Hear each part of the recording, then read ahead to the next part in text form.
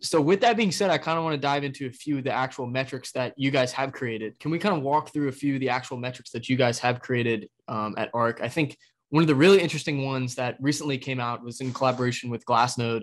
Uh, I think in particular it was it was you and Checkmate, uh, who's the lead insight. I'm sorry, lead uh, analyst at, at Glassnode. Uh, correct me if I'm wrong there, but it's this long-term holder deflation inflation ratio. Um, kind of what's the methodology that you're describing there, and kind of where is it now?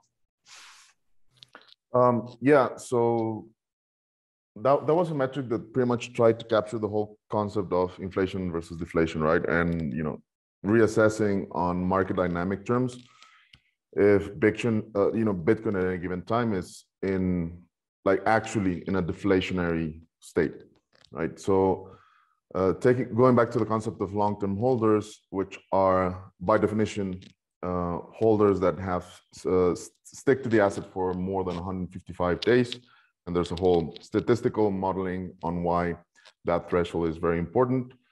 Um, we found that when you assess both the, the potential natural sell side coming from natural issuance into the total circulating supply, plus the, um, the churn, the daily churn of long-term holders, meaning how, you know, perhaps that bracket of the holder base releases coins back into circulation or adds coins back into their cohort.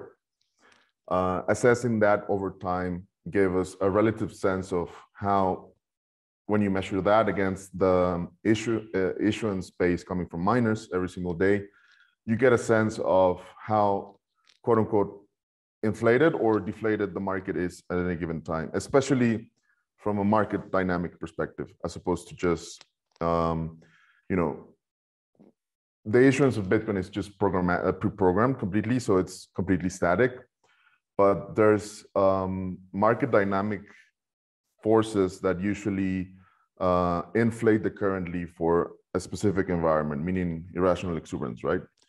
So what we notice is then when price appreciates drastically in let's say a few weeks to a few months the in uh, for market effects economical effects the bitcoin actually goes into inflation. Uh, it, it, it went through that in 2017 and 2021 briefly.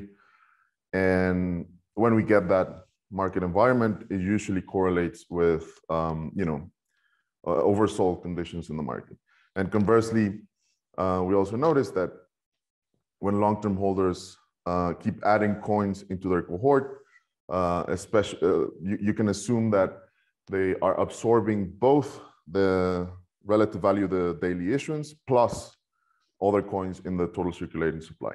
So that gives you a very uh, a higher conviction in, in saying, okay, this is actually deflationary, and there's just not enough coins available in the market for new entrants, right? So if you combine that with, you know, some other metric that gives you new money entering the system, it's a um, it's a high conviction it's high conviction on on on, on the bullish side. Let, let's just say that's the gist of it. Yeah, it makes a lot of sense. Um, I think like the methodology is I want to say relatively simple, but it's really succinct yet you know really clean and, and it's you know it speaks volumes.